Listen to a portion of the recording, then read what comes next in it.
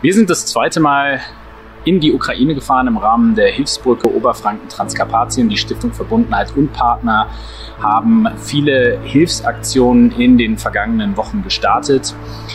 Wir sind an dem Wochenende mit einem Kleinbus in die Ukraine gefahren, begleitet durch Journalisten, aber auch durch Studenten und äh, haben an der Grenze den Lkw-Transport der Firma Meisel mit unseren Hilfsgütern begleitet. Wir haben an der Grenze viele Personen aus ganz Europa kennengelernt, die Hilfe organisieren, mit dem Wunsch, in diesen schweren Stunden an der Seite der Ukraine zu stehen.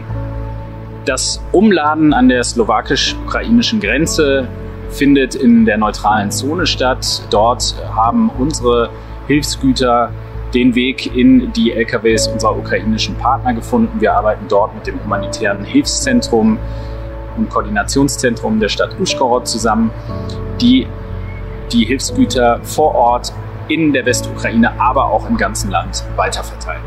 Beim ersten Mal war auch Kleidung dabei, technische äh, Ausstattung, aber es geht jetzt vor allem um Nahrungsmittel und Medikamente. In Uschgorod wurden wir vom Bürgermeister empfangen und von unseren Partnern, dem Humanitären Koordinationszentrum der Stadt Uschgorod.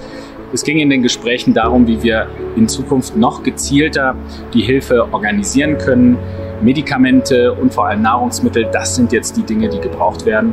Und der Bürgermeister hat uns in eindrucksvoller Art und Weise die Situation geschildert. Uschgorod, eine Stadt von 120.000 Einwohnern, die jetzt zu der Zeit 40.000 Flüchtlinge unterbringen muss, versorgen muss. Und dort ist jetzt die Hilfe auch aus Deutschland gebraucht.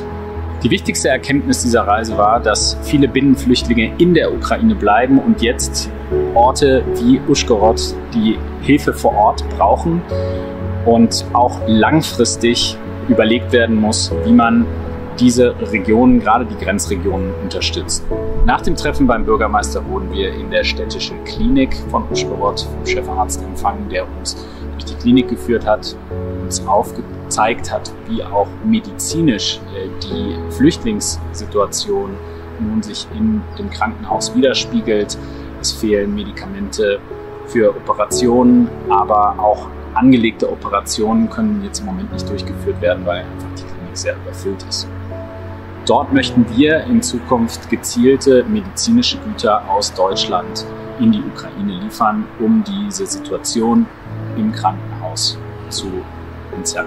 In der Stadt konnten wir uns auch eine Essens- und Kleiderausgabe anschauen, wo sich die Binnenflüchtlinge versorgen können.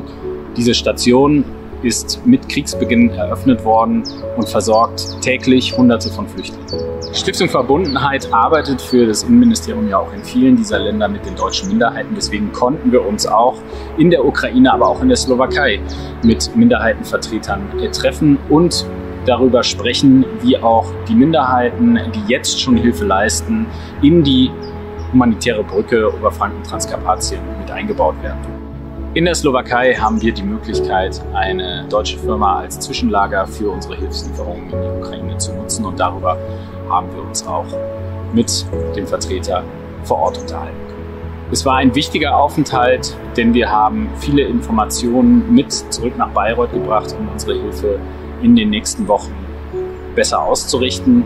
All das wäre aber nicht möglich, wenn wir keine Partner hätten und deswegen möchte die Stiftung Verbundenheit sich ganz herzlich bei den vielen, vielen Partnern in der Region Oberfranken bedanken. Für dieses Mal ganz speziell der Firma Busch, die den Transporter, mit dem die Delegation nach Uschgorod gefahren ist, äh, gesponsert hat, aber auch natürlich wieder die Firma Meise, die mit ihren Speditionsfahrten die Hilfsgüteranladung ermöglichen.